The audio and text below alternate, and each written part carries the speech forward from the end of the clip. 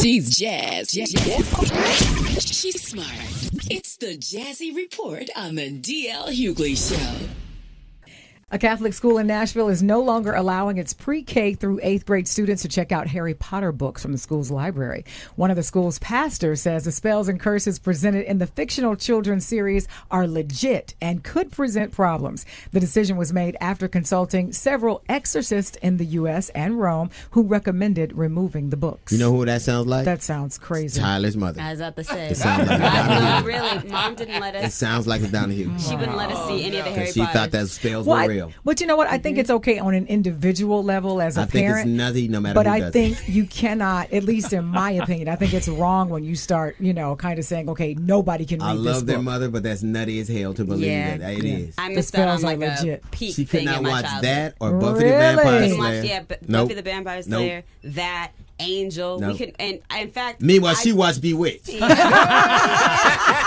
a hypocrite. I was about a say, I dream of I just watched like all the Harry Potters last year.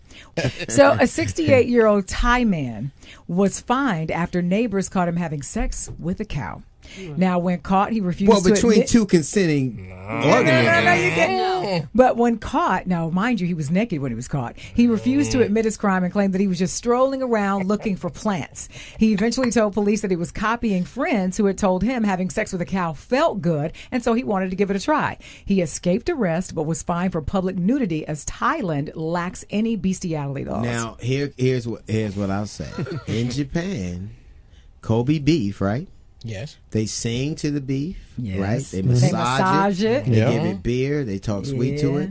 After all that, somebody's got to be horny. So you not, no, no, absolutely not. Turn the lights down low in the barn. okay, so See? everything else, uh, massaging somebody, playing music to them, just having an alcoholic beverage with them is usually a date, which ends up in somebody getting knocked off, right? Yeah, well, I don't want that. little want Kenny none of that G. crap. That's the plan. No, that's disgusting. And the marble and the meat is very tender, right? Skip, Yeah. isn't it? Yeah, and that's when that's when Cal started wearing those signs, "Eat more chicken."